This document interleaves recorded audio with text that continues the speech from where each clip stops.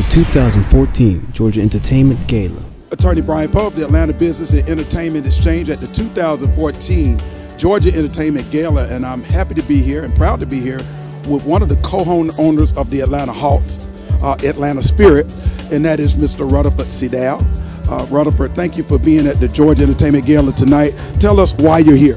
Well, I'm first here to support my wife, who's getting the award, and she is so fabulous, and she's done so many things. Uh, the entertainment industry in Georgia has grown no small part due to her family and her father, Ted Turner, and uh, she has kept that legacy going. So we're proud to be here to support my wife, Laura Seydel. Tell us a little bit about the growth uh, of the entertainment industry in Georgia as you see it. Why has it happened? Well, I guess I can go back. When I was a little kid, I was a Free Spirit bike commercial uh, guy. I did a commercial for Sears, I think, and I also uh, was the Niagara starch scan guy. My mother made me go do these modeling gigs. So, you know, for all you kids out there, it does take a lot longer than you think, and you don't get paid much, but it, it's a great experience. And from those early days when Atlanta wasn't much to now with the tax credit and everything that's going on, you know, where many, many movies are, are made here, uh, we've always had good behind the scenes folks like the lighting companies and the camera companies and all those. And in no small part thanks to Ted Turner bringing CNN and headquartering all of the activities from the Cartoon Network all the way to Warner Brothers and a lot of things that happen here, Turner Original Programming. My mom, my stepmom, Pat Mitchell, she runs the Paley Center, which is the National Television and Radio Museum in New York City and Los Angeles, which we should open a branch here in Atlanta. But she was in charge of all documentaries for Turner for a long time.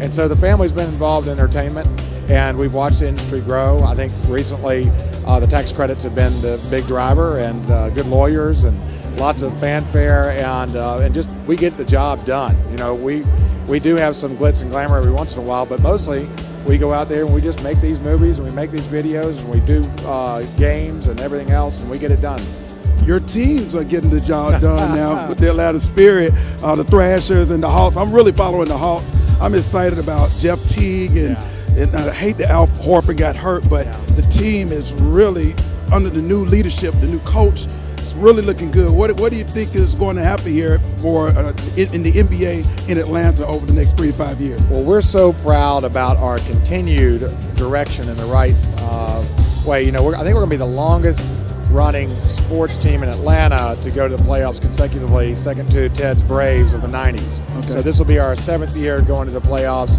uh, knock on wood somewhere. And we are uh, building our program and going through a little bit of rebuilding. Yes, it's unfortunate Al Horford is injured again this year, but the rest of the team has stepped up with two big victories over Houston and another victory. Paul Millsap is playing some incredible ball as well. Paul Millsap, Kyle Korver, you said Jeff Teague. I mean, we've got really a dynamite team and a bunch of great characters to come out and watch. And I think that's really what's made our team so much fun. And that's why our fan base is growing. Uh, as a as an owner, what was the most important thing that you wanted to see happen to the Atlanta Hawks in shaping the team?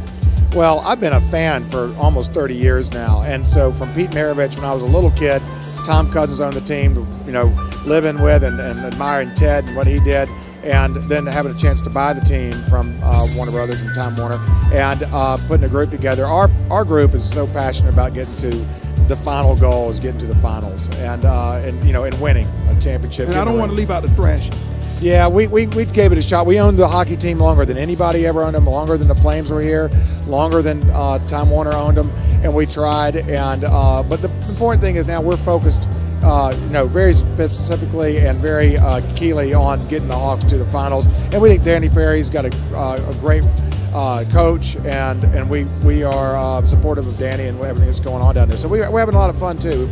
Don't forget Phillips Arena, which is also what we own uh, is is the third busiest live entertainment uh, facility in the United States. I didn't realize that. Yeah, so we have this week we had a comedian Bill Dunham. One week we had Jay Z. Last week we have all kinds of acts that come through there. And really, when I go to the arena and I go every night, I, I love it because it's sort of our center city. It's our town center. It's where you see all sides of town come in to support their favorite act and then support the, the Hawks. So that's really an exciting thing to see live entertainment happen there too. Well, it's exciting to have you here tonight.